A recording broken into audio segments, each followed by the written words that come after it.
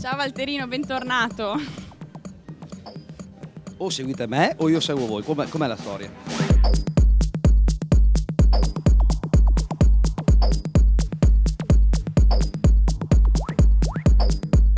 Stasera ci sei tu in console, è la serata di Halloween e c'è lo spettacolo del principe Maurice. Com'è lavorare Bello. con un artista come lui?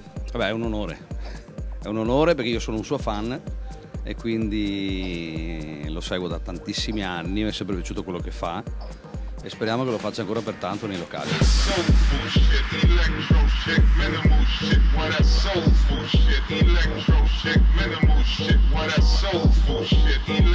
Se uno pensa ad Halloween, subito gli viene in mente la canzone thriller di Michael Jackson. Cosa pensi che la sua scomparsa abbia lasciato nel mondo della musica? Beh, ha lasciato il segno in tutto il mondo sicuramente. Eh, oggi può essere un, un modo anche per ricordarlo in questa, in questa festa con appunto con Thriller. Eh, credo che sia l'anno scorso, due anni fa c'era il suo 25esimo, quindi un buon motivo per ricordare un grande artista. Eh, era del pop, quindi un bel, un bel- un bel giorno per ricordarlo, dai.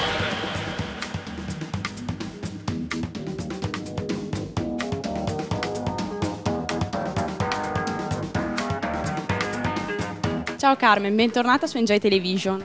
Ciao a tutti. Allora, stasera è la serata di Halloween. Quindi, innanzitutto, complimenti per la serata, che è una bellissima serata. Poi abbiamo visto uno spettacolo stupendo del principe Maurice. Secondo te, cosa dà di più uno spettacolo del genere al pubblico? Beh, sicuramente è una cosa straordinaria il fatto che venga riportata una- un tema, un'animazione teatrale appunto vissuta in discoteca. Mm, a volte appunto si vedono queste cose a teatro, però rivedere delle performance in 15 minuti che magari andresti a vedere in due ore a teatro eh, è una cosa sensazionale, crea delle atmosfere veramente insolite dove la gente rimane sbigottita direi.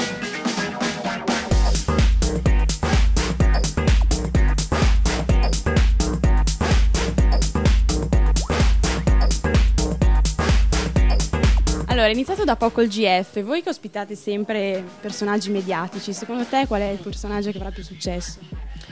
Eh, non saprei proprio, anche perché è iniziato da poco, io purtroppo non lo seguo molto, Mm, noi ci siamo orientati più che su ospiti mediatici, su della buona musica, su DJ, ad esempio stasera avevamo Brogio, c'è per esempio Mazzetto, Naccia, Tommy V, diciamo tutti di calibro insomma di un certo livello, anche perché noi vendiamo musica e quindi vediamo che la gente apprezza di più il, il sentire dell'ottima musica o delle performance tipo quelle del principe Maurice, anziché vedere un ospite che magari sta un'ora, firma degli autografi e poi scappa via, che magari ormai è una cosa che ha un po' stancato a mio avviso.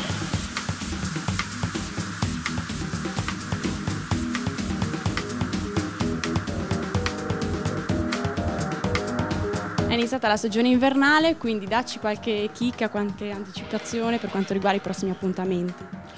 Allora, i prossimi appuntamenti eh, sicuramente il 13 novembre con il tredicesimo anniversario del Mascara, 13 anni di musica, divertimento con ospiti le straordinarie veline da Striscia la Notizia, mega torta per tutti, quindi vi aspettiamo. E poi eh, ci accingiamo al Natale, al Capodanno e via via appunto delle feste al 7 dicembre ci sarà una straordinaria festa anni 80-90 con ospiti internazionali. Eh, non dico ancora i nomi perché mh, al momento non, non li so, quindi è meglio non dire le cose se non si sanno subito. E niente, quindi vi aspettiamo numerosi alle nostre serate.